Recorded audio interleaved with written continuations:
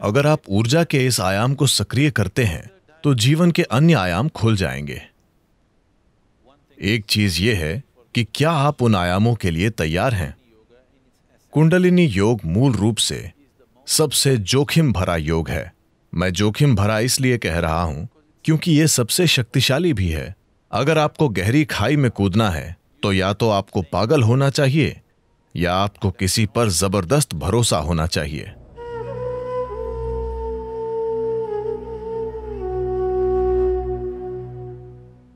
So तो कुंडलिनी क्या है? अभी मैं बोल रहा हूँ यह कुंडलिनी है। आप सतर्क हैं और सुन रहे हैं। अगर आप सतर्क होकर सुन रहे हैं ये कुंडलिनी है। एक फूल खिल रहा है वो कुंडलिनी है। एक कुत्ता भौंक रहा है वो भी कुंडलिनी है। या दूसरे शब्दों में अस्तित्व की मौलिक जीवन शक्ति को हम कुंडलिनी कहते हैं। अब सिस्टम के भीतर, मानव प्रणाली के भीतर, अगर आप इसे एक तरह के जीवन पैकेज के रूप में देखें तो यह जीवन का एक टुकड़ा है। जीवन का यह टुकड़ा एक खास तरीके से इस ऊर्जा की परतों के साथ पैक किया गया है। ऊर्जा का एक आयाम तुरंत जीवित हो जाता है, क्योंकि यह आपके अस्तित्व की प्रक्रिया के लिए ज़रूरी है।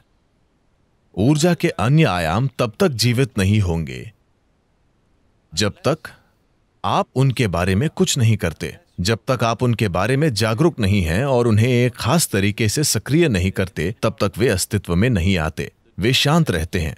निष्क्रिय ऊर्जा उस ऊर्जा से बहुत बड़ी है जो अभी उपयोग में है।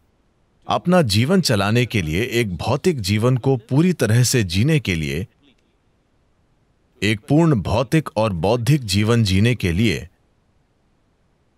आपको चक्रों में से बस 21 चक्रों को सक्रिय करना ज़रूरी है। इन 114 में से अगर 21 सक्रिय हैं तो आप पूरा जीवन जिएँगे। आप किसी भी कमी को महसूस नहीं करेंगे। आप एक पूरा भौतिक जीवन जिएँगे। आपके जीवन में कोई समस्या नहीं होगी। आप सोचेंगे कि आप एक बड़ी सफलता हैं, लेकिन आप केवल 21 हैं, जो कि 21 प्रतिशत से कम है 114 में से। 20 प्रतिशत से कम। 20 प्रतिशत से कम में भी आप बिना किसी कमी के पूर्ण जीवन महसूस करेंगे। जीवन का बाकी प्रतिशत वो किस बारे में है? अगर आपका इरादा सिर्फ़ अच्छे से जीने का है तो इसकी ज़रूरत ही नहीं है।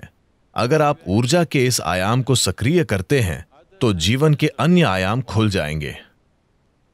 एक बात यह है कि क्या आप उन आयामों के लिए तैयार हैं?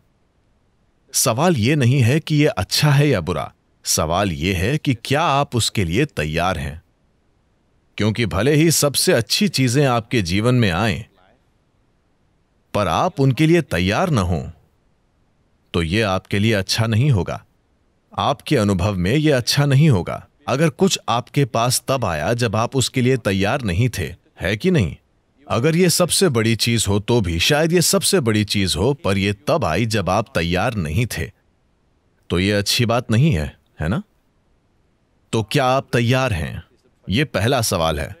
अगर आप तैयार हैं तो हम इसके लिए क्या कर सकते हैं? हम इसे कैसे सक्रिय कर सकते हैं? ऐसा करने के कई तरीके हैं, कई कई तरीके। लेकिन कुंडलिनी योग कुंडलिनी योग कुंडलिनी योग अभ्यास से लोग परिचित हैं? ठीक है। कुंडलिनी योग, मैं किसी पर टिप्पणी नहीं कर रहा हूँ। कुंडलिनी योग मूल रूप से सबसे जोखिम भरा योग है। मैं जोखिम भरा इसलिए कह रहा हूँ क्योंकि यह सबसे शक्तिशाली भी है। सबसे शक्तिशाली हमेशा सबसे खतरनाक भी होता है, अगर गलत तरीके से किया जाए तो। अभी दुनिया में कई प्रकार की ऊर्जाएँ हैं। बिजली को भी कई अलग अलग तरीकों से पैदा किया जा रहा है। एक तरीका है कि हम इसे परमाणु रिएक्टरों के माध्यम से करते हैं। यह ऊर्जा उत्पादन का सबसे कारगर तरीका है, जिसे हम अभी जानते हैं, लेकिन यह सबसे खतरनाक तरीका भी है है ना? जब चीज़ें गलत हो जाती हैं तो वे गंभीरता से गलत हो जाती हैं। जब चीज़ें सही होती हैं तो ये दुनिया में ऊर्जा का उत्पादन करने का वाकई सबसे आसान और अच्छा तरीका है, परमाणु ऊर्जा। लेकिन जब ये खराब हो जाता है तो ये वास्तव में इस तरह खराब हो जाता है कि आप इसे ठीक नहीं कर सकते। कुंडलिनी योग भी ऐसा ही है। ये सबसे शक्तिशाली है, पर यह सबसे खतरनाक है। ज़रूरी तैयारी और मार्गदर्शन के बिना विशेषज्ञ मार्गदर्शन, निरंतर मार्गदर्शन और देखरेख के बिना किसी को कभी इसका प्रयास नहीं करना चाहिए। पर समस्या यह है कि इस पर किताबें लिखी गई हैं और सभी उच्चतम योग करना चाहते हैं। कोई भी ए से शुरू नहीं करना चाहता। सब जी के साथ वर्णमाला शुरू करना चाहते हैं। यह रवैया अपने आप में ही खतरनाक है। जो शक्ति जीवन में परिवर्तन ला सकती है, वो जीवन का विनाश कर सकती है। सिर्फ़ इसलिए कि ज़रूरी प्रतिबद्धता, समर्पण, ध्यान और समझ के बिना इसे किया जा रहा है। कुंडलिनी ऊपर उठने से अगर कुंडलिनी ऊपर उठती है तो आपके जीवन के आयाम इतनी तेज़ी से बदलेंगे कि आपको बाहर भी जल्दी बदलाव लाने के लिए तैयार होना चाहिए वरना चीज़ें बड़े पैमाने पर बिखर जाएँगी। शास्त्रीय यौगिक परंपराओं में हम पारिवारिक स्थितियों में रहने वाले लोगों को एक प्रकार का योग सिखाते हैं एक अन्य प्रकार का योग है जो हम तपस्वियों को सिखाते हैं। ईशा में हमारे पास दोनों रूप हैं। हमारे पास तप योग है और सामान्य योग भी है। हम आपको तपस्वी योग कभी नहीं सिखाएँगे। यह योग का सबसे शक्तिशाली तरीका है। लेकिन इसमें अनुशासन और फोकस की ज़रूरत होगी जो आप अपने सामान्य जीवन में नहीं कर पाएँगे। अगर आप उस तरह का योग करते हैं तो यह आपके बाहरी जीवन को तुरंत तोड़ फोड़ देगा। अब यह योग आपके जीवन में जोड़ तोड़ करने के लिए नहीं बनाया गया है। यह आपके जीवन को बेहतर बनाने के लिए बनाया गया है। जब जीवन बेहतर होता है, जब चीज़ें बेहतर होती हैं, आप अधिक पैसा कमाते हैं, आपका बिज़नेस बेहतर हो रहा है, आपका पेशा बेहतर हो रहा है, आमतौर पर दुर्भाग्य से परम की तलाश करने की आपकी लालसा धीमी हो जाती है। हाँ? तो वास्तविक अर्थों में यह तरीका अच्छा नहीं है। पर यह आज की दुनिया में काम करने का एकमात्र तरीका है और यह एकमात्र तरीका है जो अधिकांश लोगों के लिए कारगर होता है। बहुत कम लोगों के लिए हम इसे अन्य तरीकों से कर सकते हैं। हम इन सभी चीज़ों को दरकिनार कर सकते हैं और बस बहुत ही शक्तिशाली तरीके से काम कर सकते हैं। पर यह उनके आसपास के सभी सामाजिक ढांचों को खत्म कर देगा जो हर किसी के लिए अच्छा नहीं है। तो ये विभिन्न आयाम है।